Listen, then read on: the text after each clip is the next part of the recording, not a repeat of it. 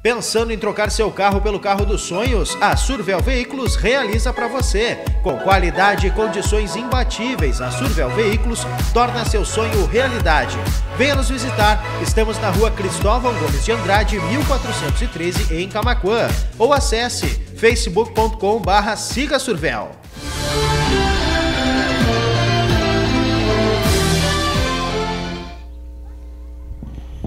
Se vocês estão achando que o cara da Lagoa TV tá maluco? Não. Não é, não é isso que estão pensando. O meu dinheiro, dinheiro público, né? Caindo, indo fora aqui, rio abaixo, como se diz, né?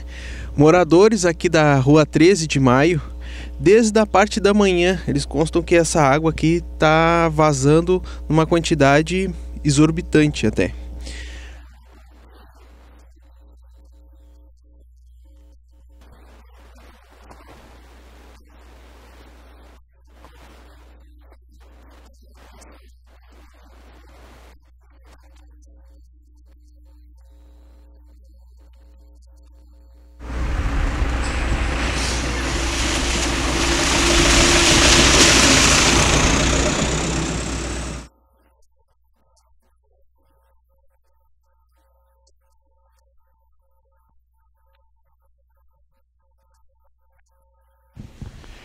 Vamos conversar aqui com o chefe da unidade, o Marinho.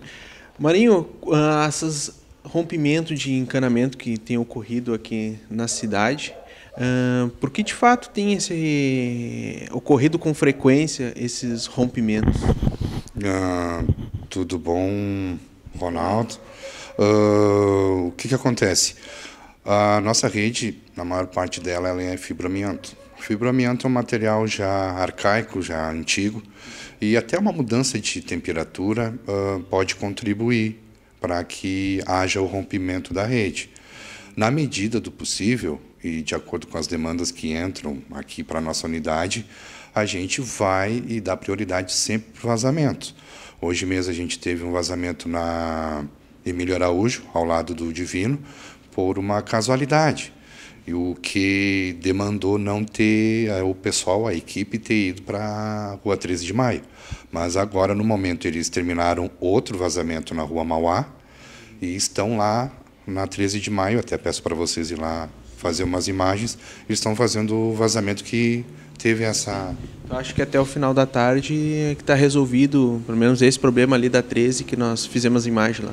Com certeza, com certeza. Sim. Até a gente, a gente agradece à população e pede que quando haja a cooperação, a gente vai trabalhar junto para não correr mais esse tipo de coisa, de ah, um vazamento ficar vários dias, o que não acontece em TAPS, é muito difícil acontecer aqui.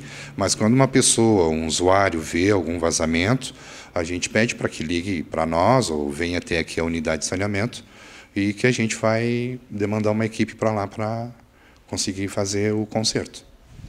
É isso aí, então.